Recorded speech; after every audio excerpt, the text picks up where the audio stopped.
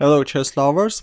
This endgame study was composed by Valentin Rudenko and Tigran Gorgiev. According to the authors, white is winning, but while I was analyzing this with Houdini, the engine found a refutation line, and it turned out that actually this is an equal position, and there is no way to win with the white pieces.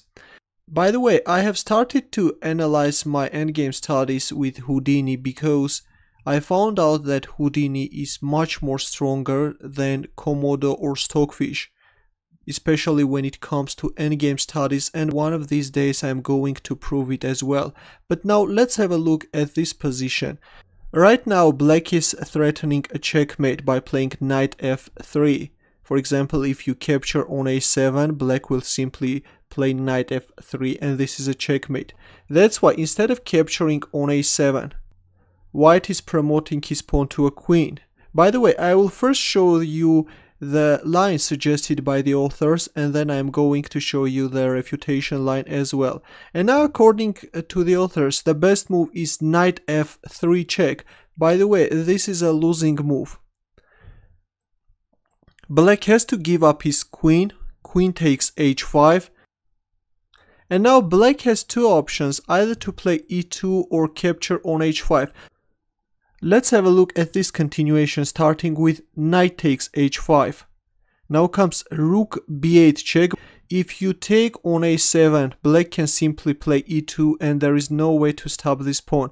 So we see rook b8 check, king a2, and now an amazing rook b7. Again, rook takes a7 is losing because of e2.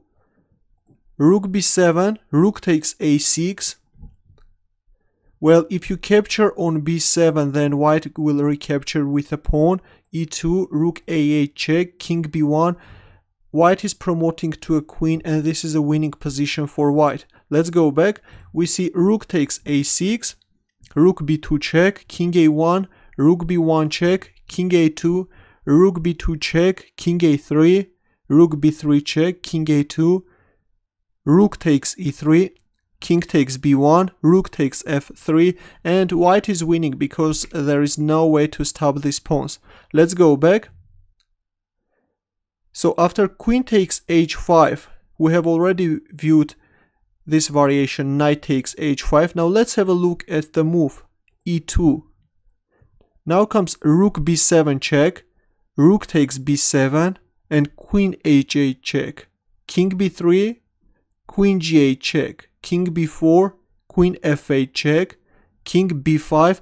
Well, if king c4, then rook c8 check, king b3, queen g8 check, king b2, queen h8 check, king b1, rook c1 check, king takes c1, queen c3 check, king d1, a takes b7, e1 queen, white is exchanging the queens and promoting his pawn to a queen and this is winning for white. Let's go back. After queen f8 check, instead of king c4, what if black plays king b5? Now again we see queen e8 check, king b6, queen d8 check, king b5, and here comes an amazing sacrifice, queen a5 check. It seems like this is a desperate sacrifice, but this is the only winning move king takes a5 the idea is that now you are taking on b7 with a check and promoting your pawn to a queen and white is winning. Let's go back. And now i'm going to show you the refutation line. After e8 queen instead of playing this losing knight f3 check black has a stronger move. Rook takes g7 this is that move which leads to an equal position. Queen e5 check, king c2, queen takes f4, and the only move which can lead to a draw, rook takes g5, rook c8 check, king d1, and now white has to give a perpetual check, otherwise there is a checkmating threat, knight f3. So rook c1 check, king f2, rook c2 check, e2, and queen b6 check, king f1, queen b1 check, king f2, and this is a draw. Again, queen b6 check, king f1. By the way, if you promote your pawn to a queen, you will lose after queen b1 check. If you play a move like e1 queen, then you can get checkmated into queen e2 and queen takes e2. That's why you are just moving your king f1, f2, and this is a draw. Your comments and questions please, and thanks for watching. Good luck.